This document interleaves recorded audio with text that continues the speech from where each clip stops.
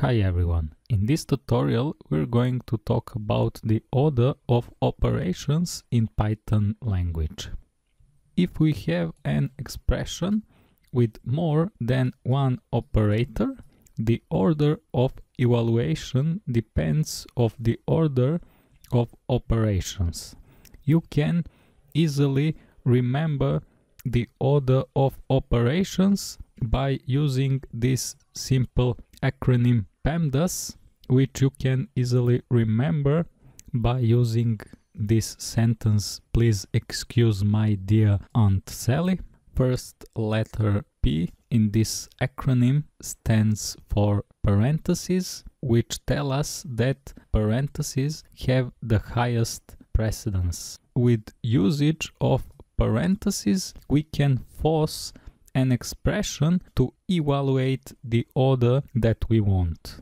Okay, let's make simple example by using parentheses. For example, let's say that we have an expression 5 times 3 plus 1.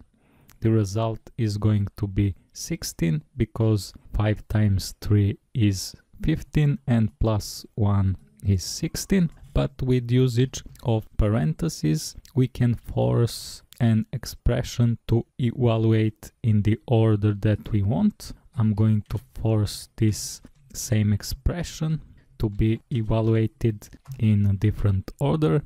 This time first we're going to add these two numbers 3 plus 1 which is 4 and then we're going to multiply number 5 and number 4 which is number 20 then in this acronym e stands for exponentiation.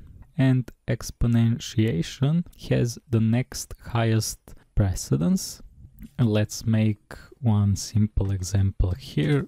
Let's say 4 plus 3 to the power of 2 and we're gonna get the result 13 because first we're going to evaluate this part of expression.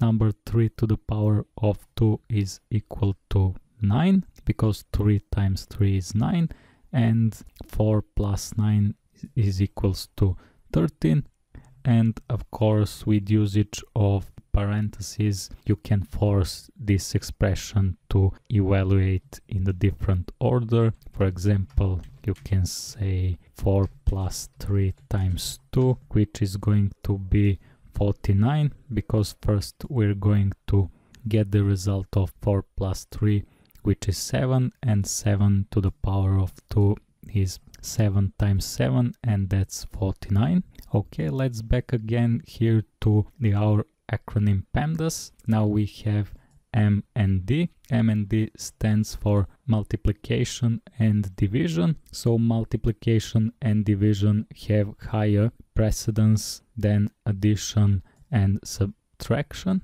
Let's make few simple examples that proves that. For example, 3 plus 4 times 5 the result is 23 because first we're going to multiplicate these two numbers. 5 4 times 5 is equal to 20 and plus 3 20 plus 3 is 23 so here multiplication uh, has higher precedence than addition. It's same with subtraction.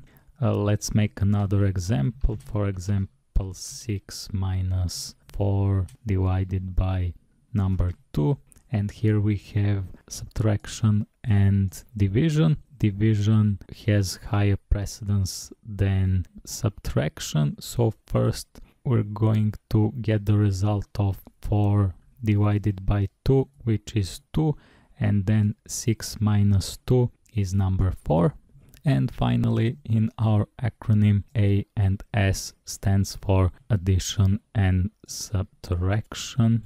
They have uh, the lowest precedence. That's all in this tutorial. Thanks for watching. Don't forget to subscribe to my channel. See you in the next tutorial.